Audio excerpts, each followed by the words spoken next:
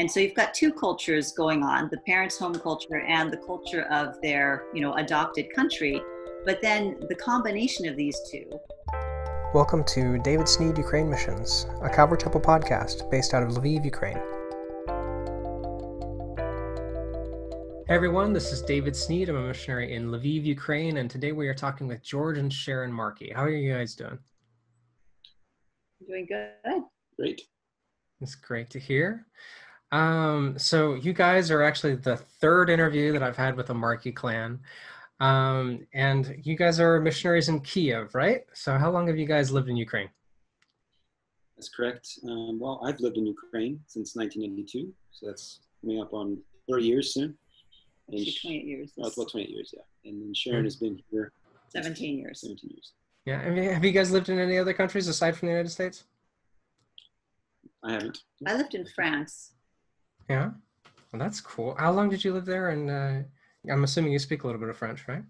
I do. Um, French is actually my second language. I'm more fluent in French than Ukrainian. Oh, wow. Um, I lived in France for a school year. So I was there eight months. I was working as a English language um, assistant in a French public high school. Mm, very cool. Very cool. Just for anybody that's watching, if you want to get more acquainted with the rest of the Markeys, uh, feel free to check out my other interviews, one with John Markey and one with David Markey. Uh, I'll have links to those in the description. So today I want to talk about parenting on the mission field. That's a request that actually uh, came in from one of my viewers, one of our listeners. Uh, so first of all, how many kids do you guys have? We have six. All kids. boys. All boys, six boys. Alrighty. So five more and you'll have a football team, right? Yeah. yeah. So t- tell us about your boys. Well, the oldest one is 13 and he loves to read and he's very studious.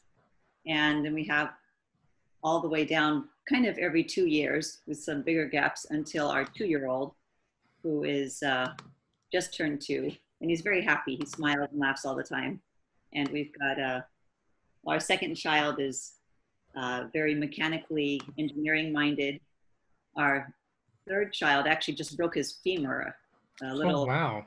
a little under two weeks ago and was in the hospital for a while and he's recuperating now. Goodness. Their second broken bone. Yeah. In all these years, we're kind of lucky. And uh, then we've got a, a uh, I'm gonna say first grade, but just graduated from first grade. Mm-hmm. And, uh, and then a, oh boy, there he is. Peter wants me. I need to go help the one with the broken leg, so George can take over for a minute. Okay. Alrighty. Well, uh, while we're waiting for Sharon to get back, uh, are there any good books that maybe you guys could recommend for third culture parenting? Uh, you know, I'm assuming you're probably a lot more familiar with that term than I am um, after being in the mission field for a long time. But do you do you have anything that uh, you guys would recommend to us for? Yeah. Um, actually Sharon had some good recommendations. She, yeah. well, she did a lot of just um, blog reading for that. Um, I haven't done as much reading, but uh, you know, we often talk. You know, she'll discuss what she's been reading and what she's been learning. So one is um, one book is Ruth Ellen Van Reken, uh, "Letters Never Sent: A Global Nomad's Journey from Hurt to, to Healing." Um, another one is um, Louis, Louis J. Bushong, Mm-hmm. That's not right. Belonging everywhere and nowhere. Insights into counseling the globally mobile. Can you say that? Uh, uh, what everywhere and nowhere? Belonging everywhere and nowhere. Mm. Insights into counseling the globally mobile. I think I've seen actually these books in in the Bible College, or um, I recognize the cover of Letters Never Sent. She's back. I'm back for the moment. Just giving some. no problem. Yeah. Do you uh, did you have any more than uh, other than those two books, Letters Never Sent and Belonging Everywhere and Nowhere, uh, books that you might recommend to folks that are specific for third culture kids? Yeah. Yeah. Or mission. we haven't really read much on the topic book wise. Um, when I first started thinking about the topic was from reading about it in the blogosphere. Mm. That, I, but I, that was so many years ago. I can't remember what blogs were helpful, but that's that's where I found a lot of helpful information. Hmm. One of the questions I wanted to ask uh, is: Do you think there are any special challenges that you guys face uh, that folks in their home culture might not uh, with raising kids in, in a in a second culture, creating your third culture, you know, that kind of thing. Um, uh, and what could you share with, especially with parents that are thinking about bringing their kids onto the field, if that makes sense with them? Yeah, definitely. Um, there's the just the kind of practical logistical problems of, you know, dealing with a medical system and how to get your kids adequate care when you're not used to that system because where you came from is different or a school system that has different standards, different expectations that you know nothing about. Um, but I think the biggest challenge is, um, well, did you explain about what third culture kids no. are? Okay, is that what you're talking about, the third culture kid dynamic? Mm-hmm. And that is, if you're not familiar with it, is when you have parents from one culture who move to another culture and raise kids there. And so you've got two cultures going on, the parents' home culture and the culture of their, you know, adopted country. But then the combination of these two can kind of, well, it's not so much the combination of two, but for the child growing up between those two cultures, the child develops their own third culture that is neither the home culture nor the adopted culture. It's something different from both. And it results in the child not feeling at home anywhere because no one anywhere can really relate to them unless it's other kids who have also grown up in a similar sort of situation. And these other kids could have grown up anywhere in the world with parents from any country, but because of those dynamics, they can connect really easily and relate to one another really well. Mm-hmm. Um, so, I mean, we found all of our kids were born after we moved overseas, so we mm-hmm. didn't have the um, the difficulty of uprooting our kids from what they'd always known and taking them somewhere else. Mm-hmm. You know, what would you say to parents who are thinking of going on the mission field with kids? Yeah. But we did have a sort of miniature version of that when five years ago we moved from uh, a small, very sort of friendly city in western Ukraine called Ternopil. We moved from there to Kiev, which is a very large city in central Ukraine. Uh, different languages. In Ternopil, everyone speaks Ukrainian. In Russian, uh, in Russian, in Kiev, most people people speak Russian. Um, the cultures are extremely different. In Kiev, people tend to be very brusque, sometimes even, I don't know, almost mean, you know, because it's mm-hmm. a big city dynamic. Um, and our kids left behind. Uh, they had a lot of friends in the church there. Uh, two of them, well, one of them was already enrolled in school. The other one had been going to kindergarten and was going to join his brother at this, you know, school.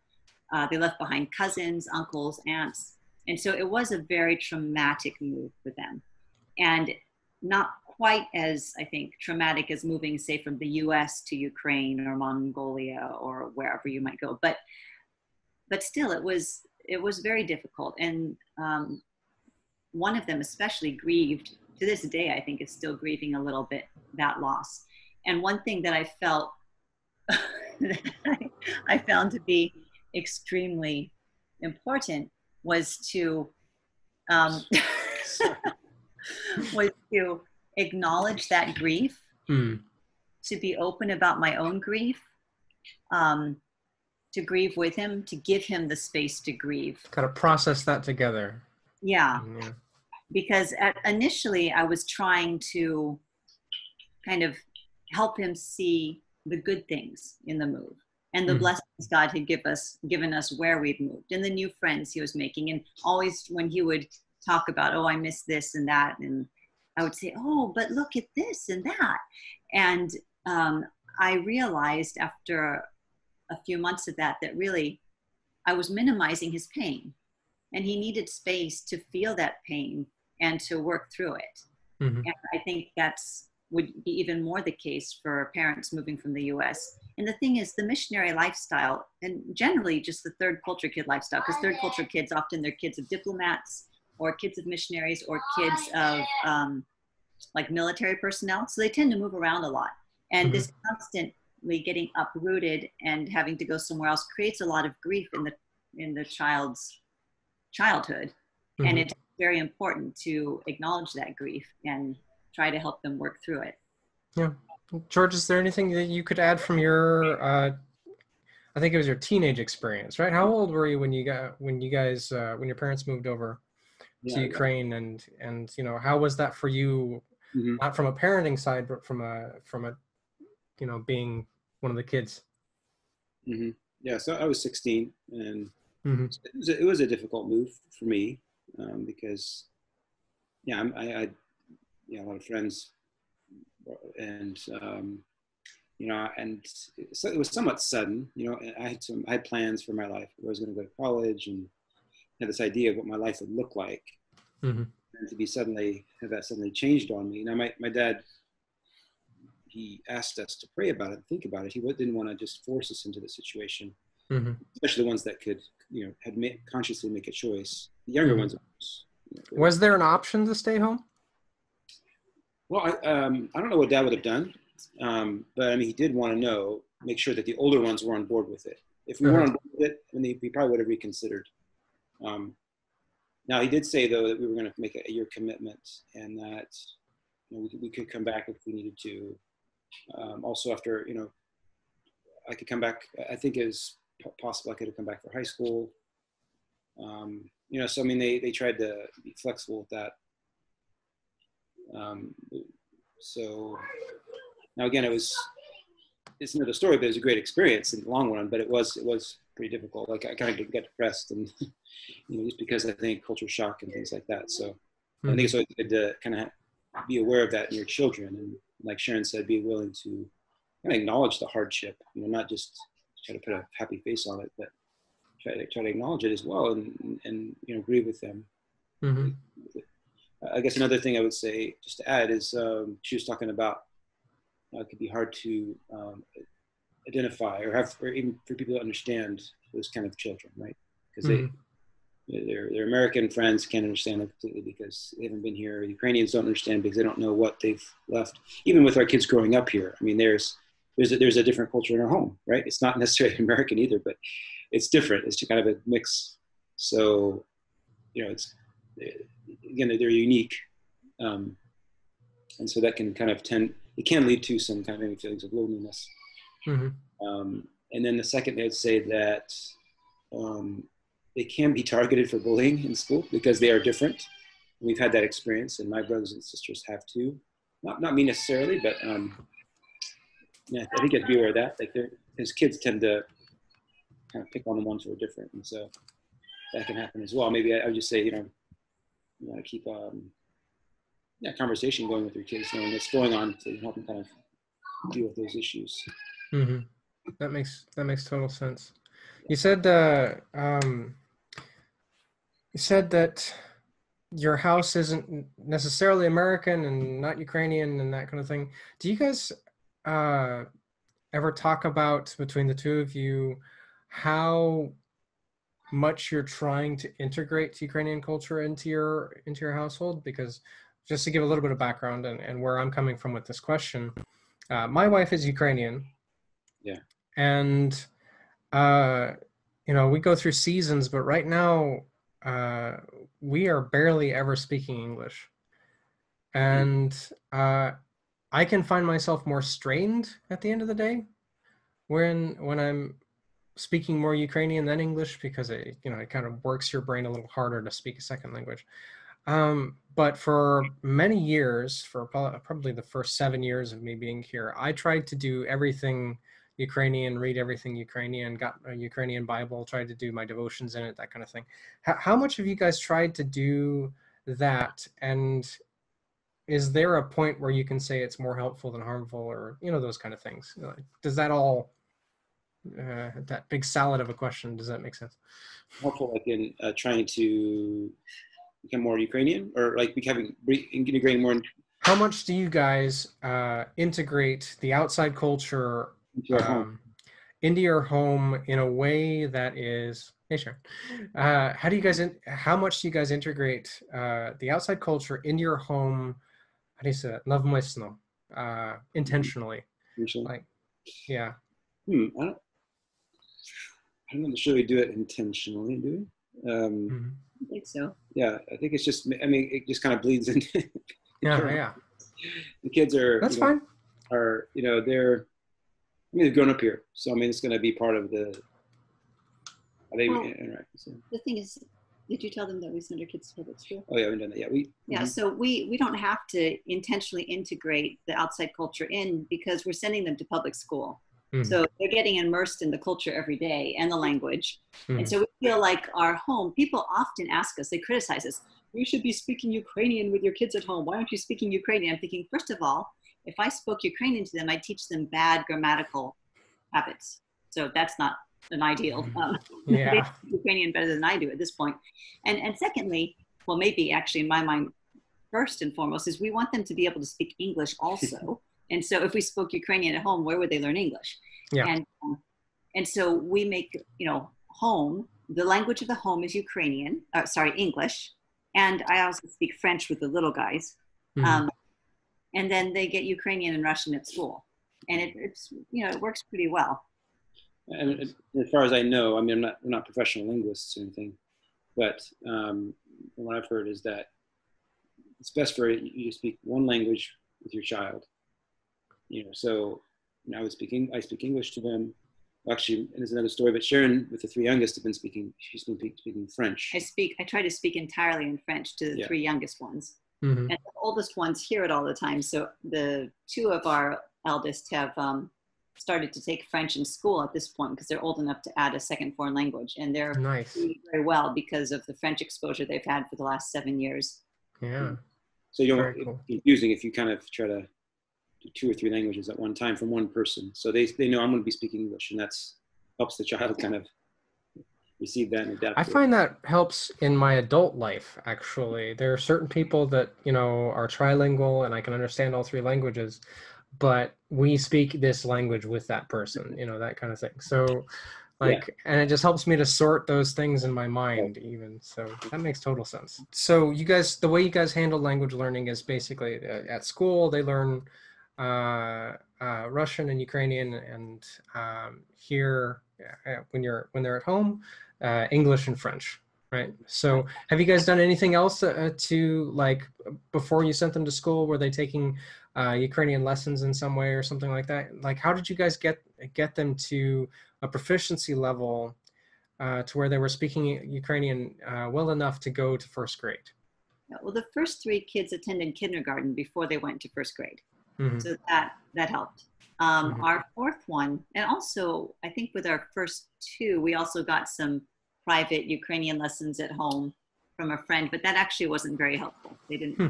they just needed the immersion of kindergarten and that was a much more natural way for a child to learn and it was much more effective um, our fourth child never got the benefit of kindergarten because uh, we were we just recently moved and um, I don't know, things were disorganized and I just had a baby and I guess he kind of fell between the cracks in a sense, which sounds really bad. But amazingly, I mean, kids of that age are so good at picking up languages. And first grade isn't, it's not academic here. They're, they're teaching them academic things, but they don't actually give them grades. Mhm. So it gives you this whole year of kind of like a grace period for the kid to learn the language. So that's what he did this year. And his teacher was really uptight. Like she's like, oh, there's 29 kids in my, or 30 kids in my class, and 29 of them can read really well. As in, like, you know, what's wrong with your kid? I'm like, hello, he's Yeah. learning the language. He'll catch up. Don't worry. yeah, Goodness. that, but that's one of the challenges I'd say, Mm. because you, you're gonna they're gonna be at a disadvantage maybe at the beginning. They catch up, but and then so teachers can get a little um, more experience, but get a little uptight about it. Not really not having that experience with a third culture kid, you know, and so they're, they're they're worried. We're not worried. We're like, hey, this is the fourth one. We know it's worked so far. So, how did you guys uh, have that conversation? Start that conversation between the two of yourselves of, okay, we're going to send our kids to um, public school here in Ukraine or uh, that kind of thing. Because the at least the experience I have with other missionaries here in Lviv and and uh, Western Ukraine, um, uh, excluding John uh, and and Stephanie, is I think most of my friends that are missionaries have homeschooled. I can think of four different missionary families in Western Ukraine that I know that uh, that homeschool. So, how did you guys arrive at that, and what uh, advantages and disadvantages did you guys take into account? Well, shall I answer? Good. Yeah. I, mean, I think it's really interesting. Um, because there there is that expectation that missionaries homeschool. I get that all the time when I'm talking with other Americans. Oh, so do you homeschool your kids? As in, yeah, I know you do. I'm just asking to make small talk. And like, actually, in public school. and the draw drops, and they don't know what to say next. Yeah. So. But really, for me, I, I, don't think I ever considered homeschooling because George's parents had made the wise decision to integrate their kids into the local schools when they moved here and a lot of it was i think to learn the language right? Mm-hmm. and i'd seen firsthand how effective it was how they were all so beautifully bilingual or trilingual in you know some of their cases. George is trilingual. Um, and it just didn't make sense to me. Why would we homeschool when we've got this perfect opportunity for our kids to really pick up on the language?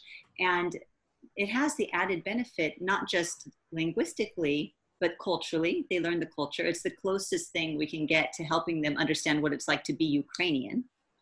And but beyond that, in a ministry sense, because it can be difficult when you're in full time ministry to cultivate friendships with non believers, because where are you going to meet non believers, right? Because you're yeah. always involved with your ministry team and doing churchy stuff. And if you've got your kids in public school, you can't help but rub elbows with non-believers all the time. And so it's a great opportunity to build relationships with non-believers. Mm-hmm. yeah that makes total sense. I mean i think there's of course you need to be flexible and we don't, we're not saying that that's the only way. Uh, we just found there's a lot of advantages. And um, i mean my parents too they weren't um, we were they put us in public school beginning but then i think some of you some of you yeah some of them did, did, did homeschool because it was just you know they were uh, for different reasons. Maybe some were they were, they were older, and so just that transition was really difficult. So they ended up doing homeschool. Um, actually, one of one of my brothers ended up actually when you interviewed David, um, ended up going back and going to high school in, in the states, and that's a whole other story. But I think they were they were also flexible. They weren't just rigid in this approach.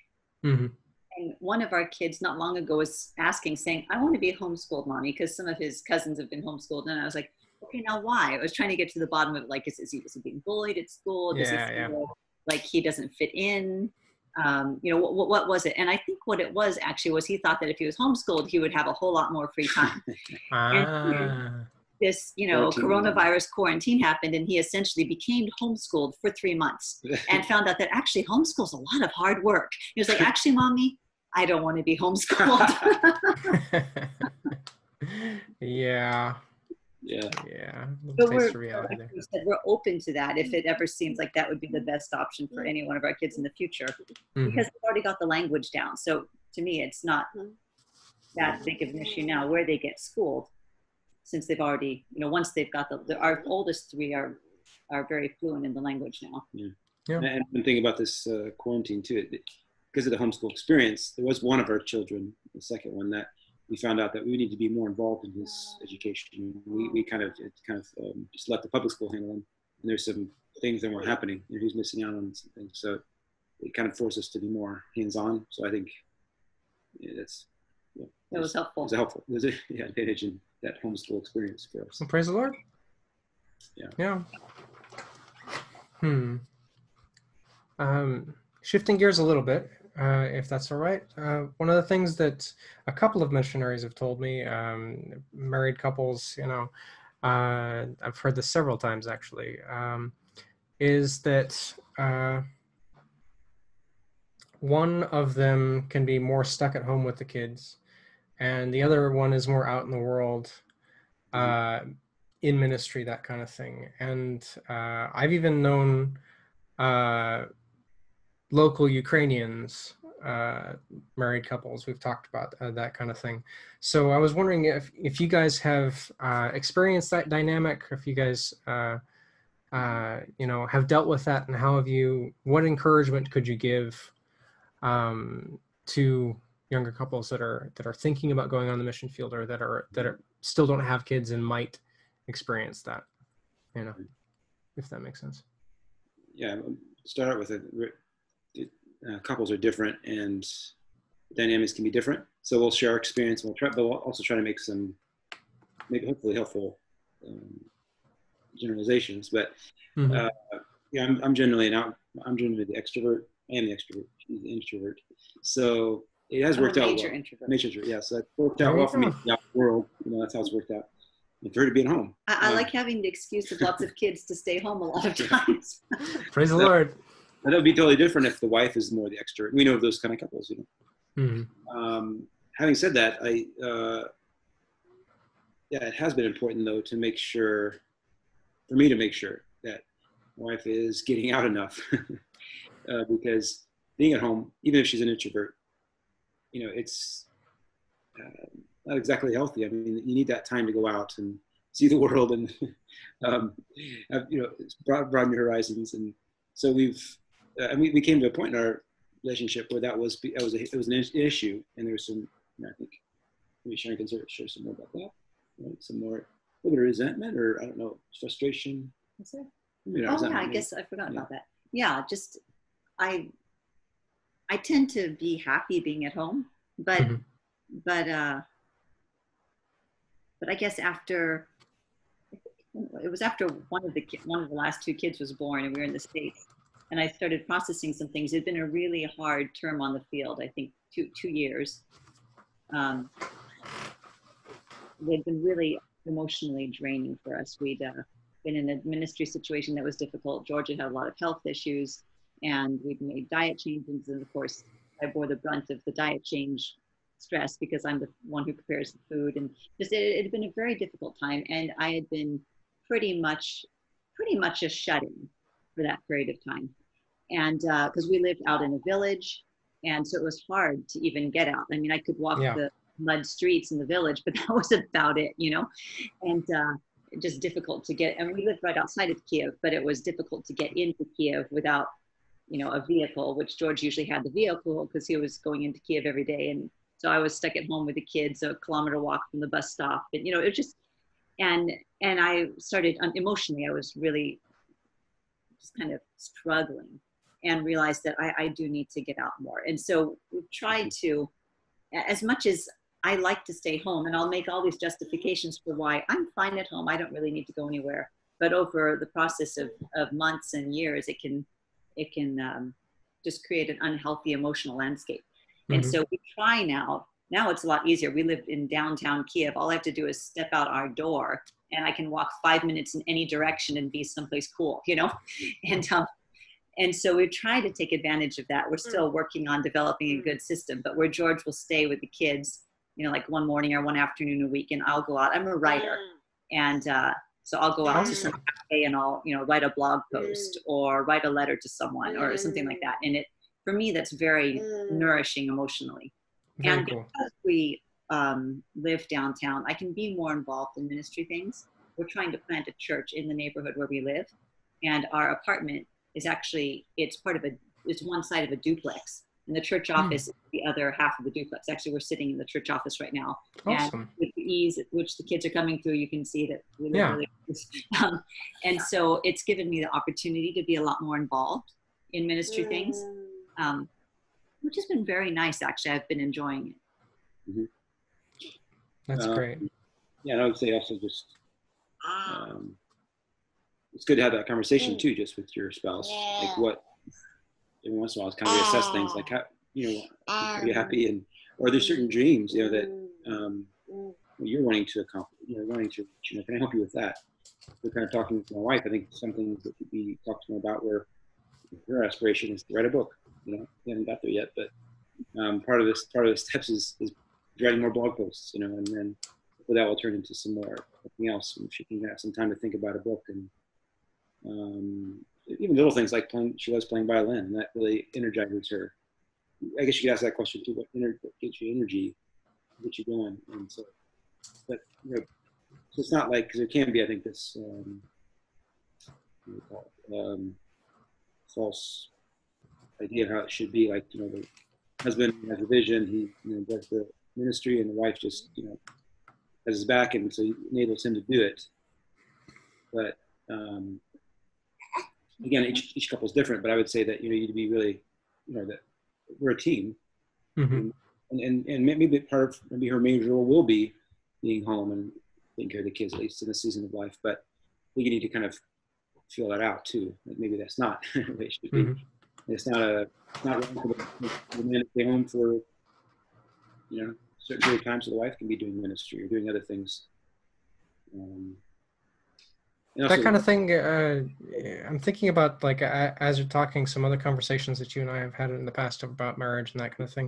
And one of the things that i've learned from you in particular is uh, that at least um, like planning and intentionality are okay in a marriage i guess uh, if that if that makes any sense. Like not everything has to be spontaneous uh, to be romantic or not everything has to be spontaneous to be taking care of the other person if that makes sense. Could you guys touch on that a little bit and like what that what that looks like? Because that that's i remember that's something that you that you and i have talked about in the past.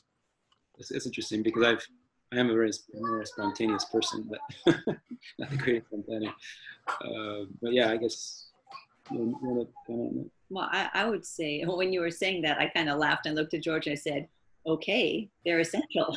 Um, because especially when if you don't have kids sure be spontaneous and just rely on that. I, I think that can work. And unless you've got like a really packed ministry and professional schedule.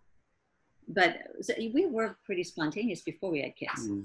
but once we had kids we realized that had to change because if you try to be spontaneous with kids it, it just doesn't happen. There's no room for spontaneity. There's too many obstacles in the way of couple time. Mm-hmm. it just yeah i mean sometimes it have, can can work but uh, as a general rule you just you can't be spontaneous once you have kids. Maybe when they're older we're just barely starting to get to the threshold of that where we've got older kids who can conceivably babysit for us and we could maybe spontaneously decide to go out you know to a restaurant nearby or something. But you know you've, you've got to plan and, and prioritize your marriage in order for it to thrive once you get to that stage where you've got so many other demands coming at you that seem so urgent and it, it's it's hard to prioritize we're going to spend time together and you've got all these kids who legitimately need your attention mm-hmm. you have to plan for it mm-hmm. Mm-hmm. Even, i mean we're talking to couples right so married couples so your intimate life too it's kind of need to plan that as well. You know, I mean, there's, there's room for spontaneity, but uh, kind of need to plan that as well. It kind of sounds maybe, I don't know, not as romantic, but it's it does help, and we become more and more that way in, in our marriage. Praise the Lord. Wait.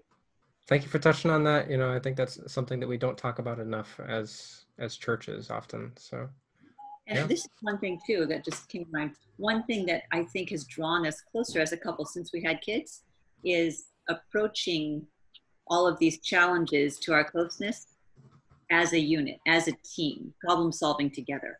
Um, in fact, I once wrote a blog post. It, it was the title was "Solidarity is the New Intimacy."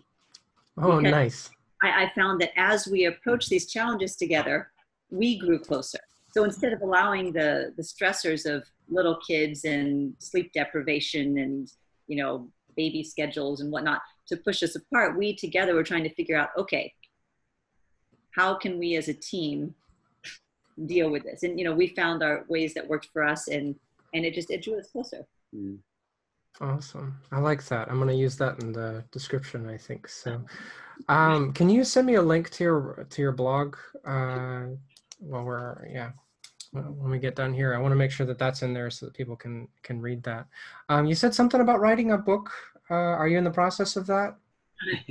no, just dreaming at this point. Um, yeah, what I would like if if it ever comes to fruition, the the book that I have in mind would be about people. Often, I come across people that have this false perception of missionaries when mm. we're hmm. back in the states and visiting churches, and it's like I'm some saintly like a combination between a cross between like a saint and a celebrity.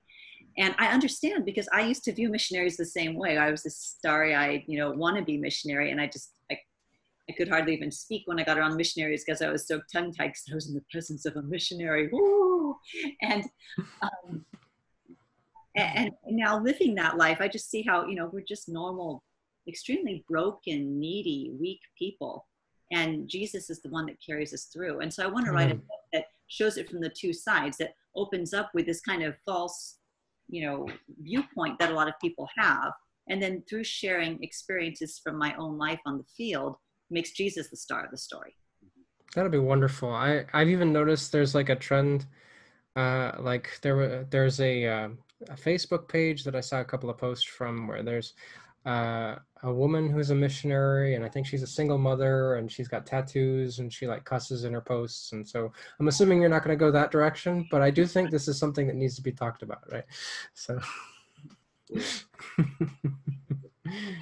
yeah. So um, let's see. Uh, going back to parenting, um, you know, being on, honest about my own heart, about my own fears. Uh, this is something that uh, Katya and I have talked about a lot. It's it's such a huge responsibility to be a parent, and honestly, there's a part of my heart that is still fearful of mm-hmm. becoming you know a parent and bringing children into the world and raising them well and that kind of thing i think some of that could be because of my parents divorce and uh, you know all the drama surrounding with that and kind of the old old wounds from that but is there can you guys encourage me personally if that makes sense of you know if there's anybody else that also that's uh, discouraged as to maybe how dark the world is getting um, you know is it still worth it to be a parent if that makes sense so yeah I, mean, I guess I'll start. I, this will be kind of a minor point, but it, it is kind of interesting that we have that kind of question because um, nowadays, we, it, what is it? As a, you know, we, there's contraception now. You know, what didn't exist for most of history.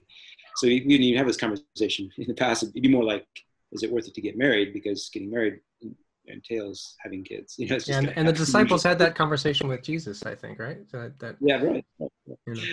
So I guess that'd be tied to that kind of conversation. But yeah, since we live in this kind of time where we can, it, I don't know. For me, I mean, sometimes it even complicates. It. It's like, man, if I could just not have to worry about that, just trust God, which we've done for part of our marriage. Um, but I guess maybe for me, I guess the comfort is that well, God created it that way you know that's kind of how God created marriage. So you know it's, it's something that design in the design of marriage, which means that He's going to help us in that, and I hope that it makes make sense, right? Can give us hope. But I think Sharon also has something to add to that. Yeah, well, I can relate to those fears because before we had kids, um, I, I kept thinking, "Oh, we're not ready yet. That's such a huge responsibility." And um, and, but then I realized at some point, you know, we're never going to feel ready. Mm-hmm. It's too big of a responsibility. If you feel ready, then you're maybe not understanding the gravity of the responsibility that that kids bring, you know, and that it wasn't about us being ready. It was about God working in us, through us, strengthening us. Um, and it's interesting because kids you know people always say that marriage will make you grow that will reveal, reveal your faults and you know begin a, a process of purification and holiness which is true but in my experience becoming a mother was far more mm. powerful than getting married in that regard um, i thought i was a patient person. And i thought i was just so kind and sweet until i became a mother and had these you know children with their 24 7 demands which are usually not made in a polite way you know? And um, it's it's really it's been a huge challenge and a huge area for growth. Um, i'm getting off topic. So encouragement about the the fears is just it's I, I think for me it was not focusing on the fear so much as just taking it to god and focusing on him knowing that okay if this is something that he's bringing into our life he has a good purpose for it and he will be sufficient. And uh, i have struggled with fears. I, I tend to always imagine your worst case hypothetical situations. And being missionaries i think well what if we end up in a a dangerous country? Yeah. what evil people try to use our children against us to get us to deny christ i just that that thought horrifies me because children open you up to vulnerability in a way that nothing else can. Mm-hmm. And and I've had to repeatedly over the years just take those fears to the Lord and say, I trust you. I know that you are good. I know that you are loving. I know that you have us and our lives and the lives of our children in your hands, and whatever you allow into our life, I, I trust you. And I've just had to you know, bring those over and over again back to him. And I, I can't say that I've arrived at a place of never being anxious. If the, if the Lord were to call us to some dangerous place, I know I would struggle with those fears all over again. But at the end of the day, I know that He's good. I know that He loves us, Mm. and and that that has to be enough. Um, and if it's not, then I know that there's something in my heart that I need to get on my knees before Him and address until that knowledge is enough. Amen. Idolatry, yeah. something that's that's um, more important, or or maybe something that um, give you great gives you greater security than Jesus. You know, so that's some kind of yeah. I would say um, also just adding to that that um, um, really having kids. I mean, it brings you into a different world where you can have greater effect for Jesus because um, you know now I how do I meet neighbors? Well, a lot of times I'll um, I'll you know go to the playground. I'll have kids, and then I'll start Yeah. talking to a dad or a mom because oh they have kids too, and so hey, um, you know it just it was a you know if we didn't have kids, you know, you know kids, I wouldn't I wouldn't be in that world. Mhm. Um, so I mean, I'm just saying that there's there's things that I think that um, there's advantages to it, and Yeah. actually that question we were talking about the challenges. Uh, I'd just add that there's advantages too. Uh-huh. That makes sense. You don't have to think that you're going to become ineffective in ministry because oh, I have kids now or something like that, right? Right, right. Because that's, that was what um, my parents were told. Because they had, they had eight kids when they went to the mission field, and the youngest was six months, and we were going to what was the Soviet Union, you know, just to you know, put them down, and things were in disarray, and, and so there was people, you know, just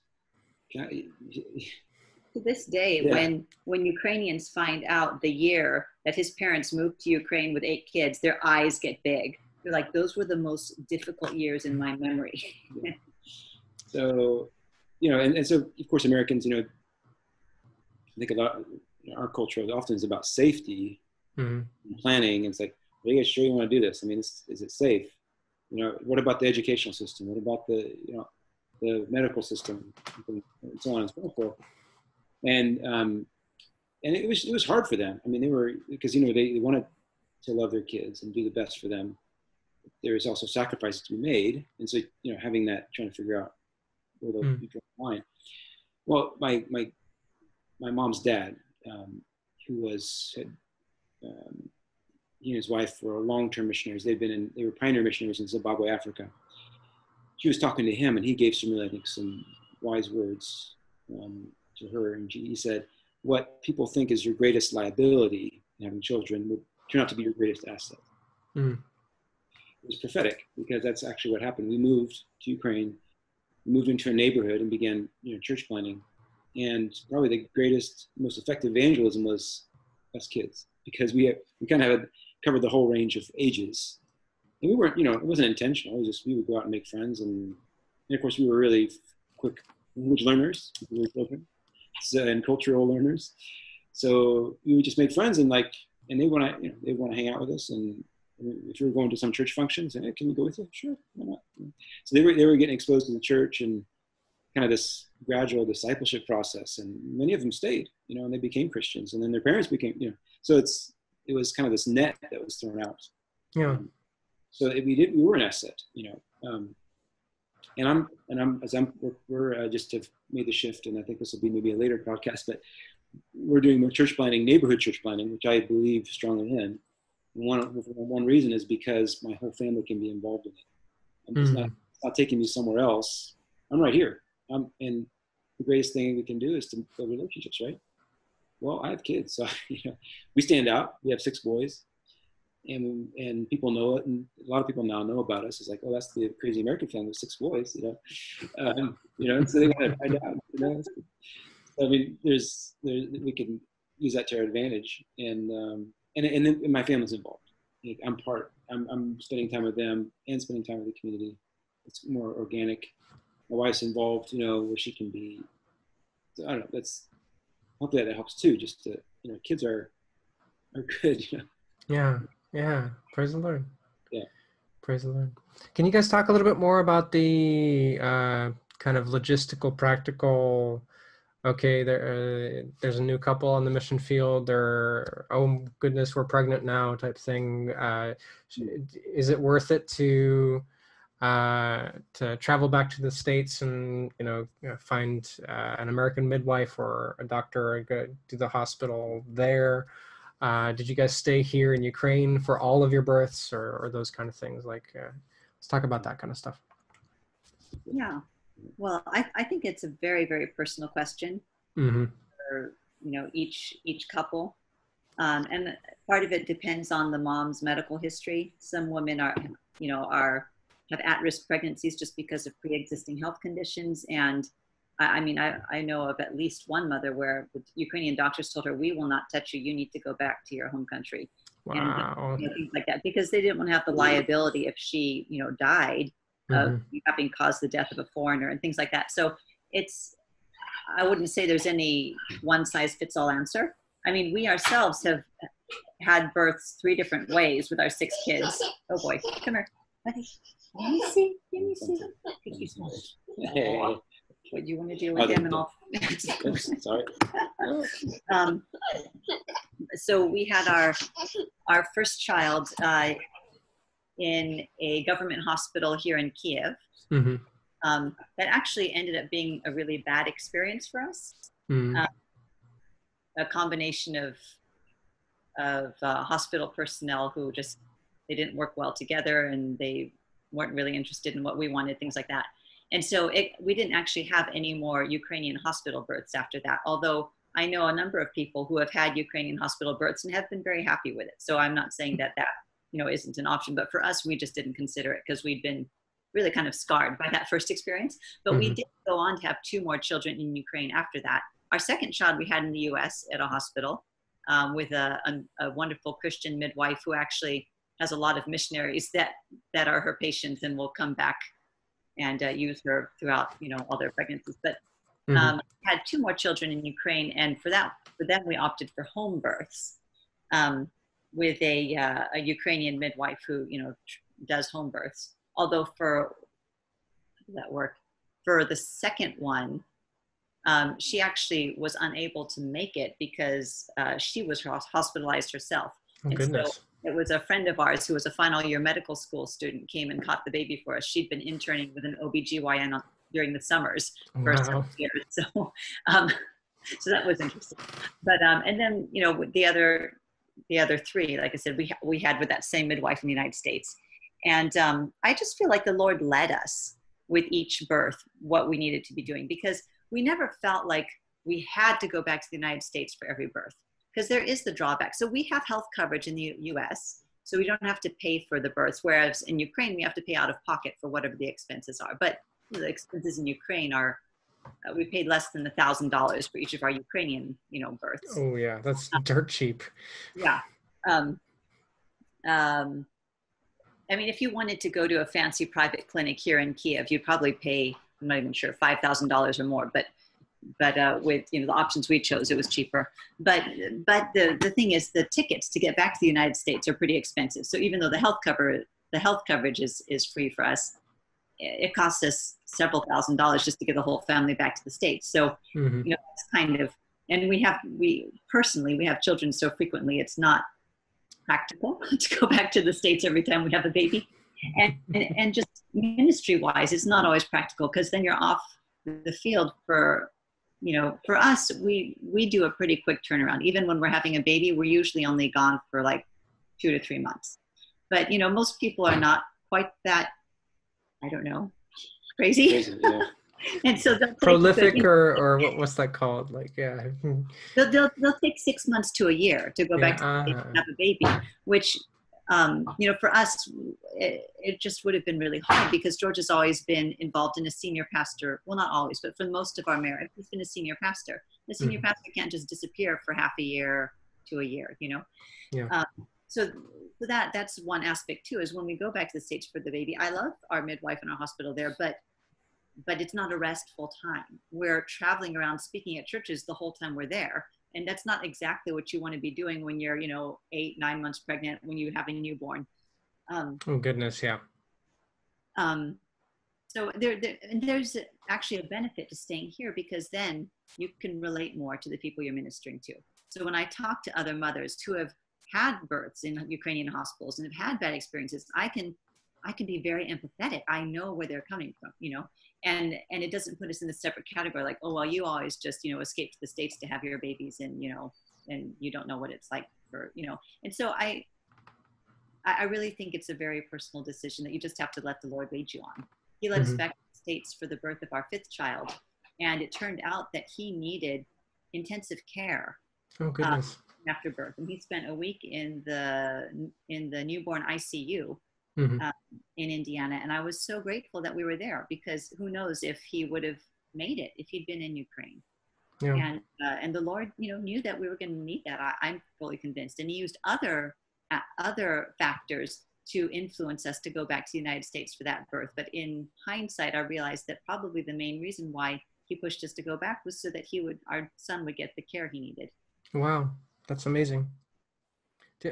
For your kids that were born in Ukraine, uh, were there any uh, like weird legal things with citizenship and that kind of stuff that you guys had to hoops that you guys had to um, jump through? No, no. and as far as getting citizenship, that's pretty straightforward. If if uh, at least one of the parents is an American citizen who has spent sufficient time in the United States. If if only one of the parents is an American citizen and they grew up overseas, for example, you can there there can be some question of whether or not citizenship will be granted. And if both parents grew up overseas and they're both citizens, but neither of them has spent much time in the U.S., again, that that can be questionable. Um, but if at least one parent is an American citizen who you know grew up in the states there's no trouble whatsoever mm-hmm. the only trouble we experienced was actually getting the birth certificate for our first son it took us nine months but that wow. had nothing to do with us being well it did sort of have something to do with us being americans the lady at the office that grants ukrainian birth certificates just didn't like us because we were foreigners and was refusing to give it to us and we actually had to move to another city and get registered in that city to go to a different office to get a birth certificate. It was how. Wow. But uh, but from the you know the normal legal side, there shouldn't have been any trouble. Yeah, that makes sense. That makes sense. one issue with James though. He was born in it was a home birth, like we did. You talk about home birth. Yeah. Oh, okay.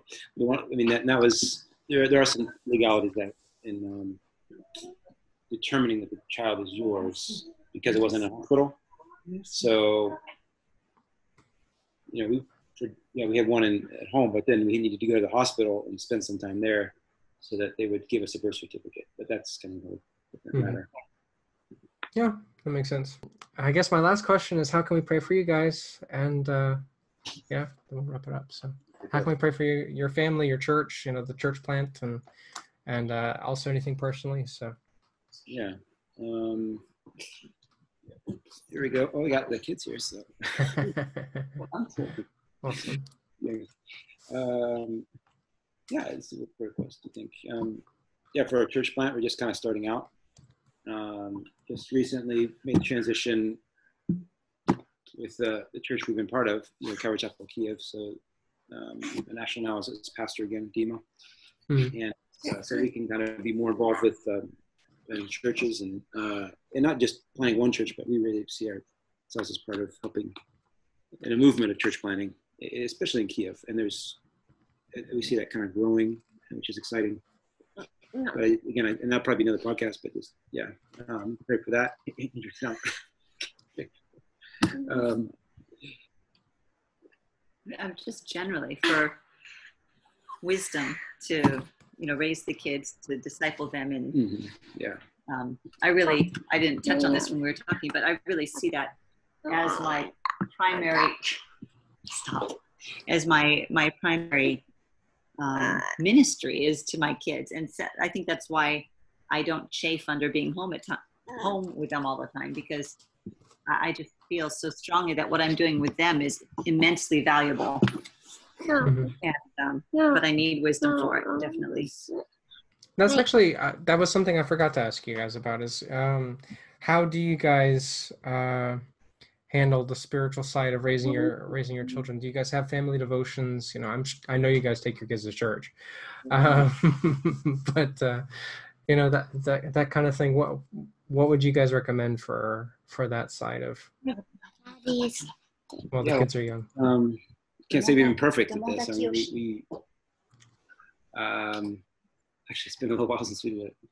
They have the devotions together, uh, but okay, my goal is to read, to do some Bible reading with them once a day, at some point. Uh, we, we've um, we try to make it fun, like we had like some special dessert and drink together, and I, and I would just read from using like a paraphrased version of the Bible, just reading it Cool. and then questions would come up and we would talk about it especially when you're yeah had some interesting discussions from the old testament a while you know and um, and you talk about some sexual issues and yeah good stuff so i don't know, guess i guess um realizing it's important you know and trying to get it in there um I think, and I think the most important thing is our example personally. Mm. So, like the kids, uh, some of the older kids have started to read their Bibles daily because they just see that, you know, George and I do that. And actually, I, it's changed my approach to my daily quiet time because, you know, you know, people always say, oh, you need to do it first. you need to do it first thing in the morning before your kids wake up so there's no distractions and everything. And I, I love that idea. But Yeah.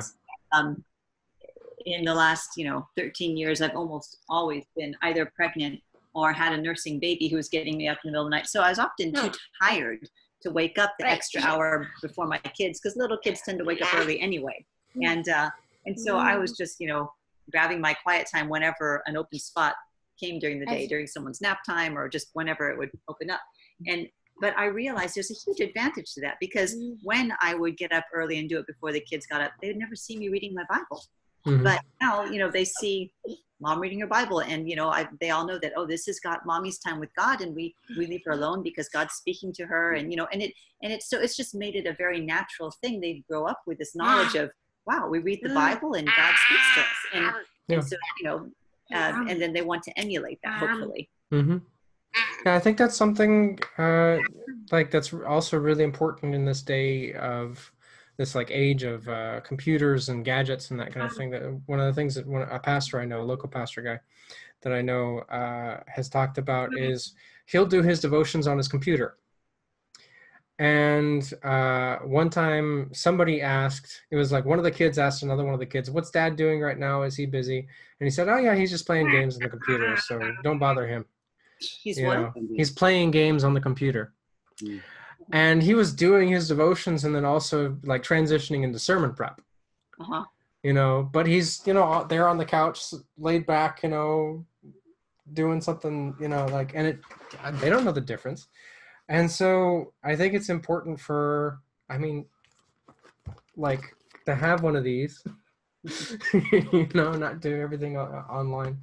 And uh and i think there's a reason like uh in the old testament where uh, god commanded the israelites to you know have the the scripture on the doorway and to, to have the phylacteries and and uh, the, the tassels and everything that there were visual visual representations of their faith Uh-huh. right uh, that I think sometimes we shy away wi- uh, away from because of the Sermon on the Mount, where Jesus said, you know, go pray in your closet. But he he was talking about something I think pretty specific, you know. It, so it's I don't think it's like taking away from the example that we have to set for Yeah. for our kids or the people around us or that kind of thing. So sorry, that's my soapbox. Um, yeah. I would say, I mean, different, somewhat different subject, but maybe I'll do a podcast on this. But technology in children, because that also affects, you know, relates to their spirituality. You know, so we, we you know, we want to. Uh, that's different, I guess, different subject, but that's been part of our discipleship is trying to is trying to navigate that. okay. Um, you know, where what's limits to set, but then you know what freedom to give them, and that's a whole other wax. But um, Yeah. Cool. That, I mean, that's very important. So yeah. We could be able, we could recommend on that. I don't know if you want that, but Yeah. Yeah. uh, called, It's called the Tech Wise Family, T E C H dash Wise, by uh, I think his name is Andy Crouch. Is Yeah. it? C R O U C H, I believe. You could uh, Google it to make sure I've got that. Yeah. I'll look it up. Yeah, Andy Crouch. Yeah, got it. I will put that in the description beneath the video. Let's do it how we how we do our devotions. and he talks about that as well, like how to, how to integrate that and. um, It was funny. We just uh, yesterday, uh, or no, I don't forget when it was, but you know, a few days ago, uh, a lady came over, and she's just a lady we met through an English club here in the community. Not a believer, as far as I know, but she's become a friend. And she she came over, and the kids were showing her around the house, and our uh, seven-year-old took her in the kitchen and said, "And this is the chair that mommy sits on to read her Bible.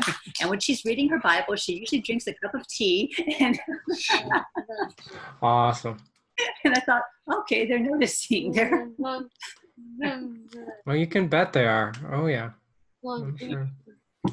Yeah.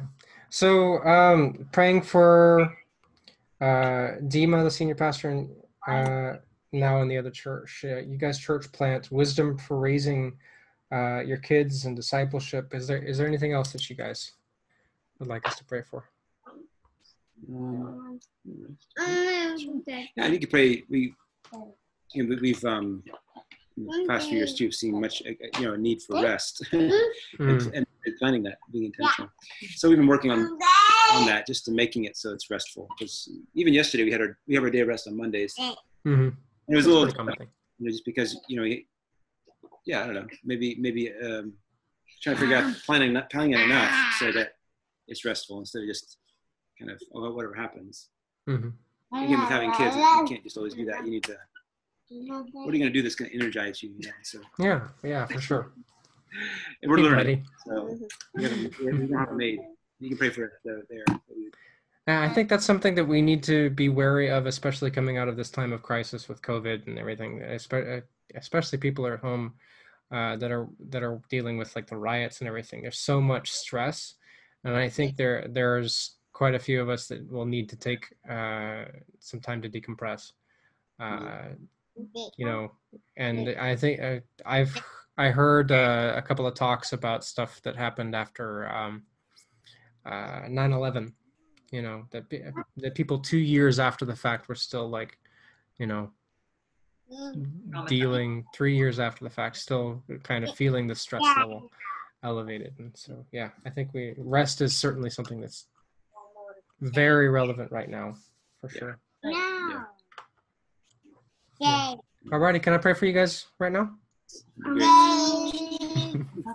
Good deal. Let's uh let's pray. God, thank you once again so much for the Markeys, for all of them, not just our friends in Kiev, but uh, particularly for for these two and their kids. I do pray for uh, wisdom uh, in their raising the kids and discipling uh, the kids, and for also caring for one another, Lord. And uh, thank you, Lord, for the example that you have uh, for us in them. Uh, I do pray for them to be able to rest. God, that you would give them uh, the time and the resources to plan intentionally uh, regular times and also uh, maybe a, a good vacation coming out of this whole quarantine thing. Uh, thank you for Dima for being there at, the, at, at uh, CC Kiev, and I pray that you bless him and his leadership in that church. And I pray for this new church plant with George and, and Sharon there, and and uh, I don't know who else is on their team, but uh, God, I pray that you would continue to to bring more and more people around them there and then also that this wouldn't be obviously uh, the last one that they would be able to create more of a church planting movement uh, in ukraine and, and help us all in in calvary chapel to uh, support and to, to to jump onto that. In jesus name we pray and thank you lord for them. Amen. Amen. yeah well god bless you guys and uh, thank you guys so much for for being on here Yeah, thank you for having us. It was a, it was a pleasure. Yeah.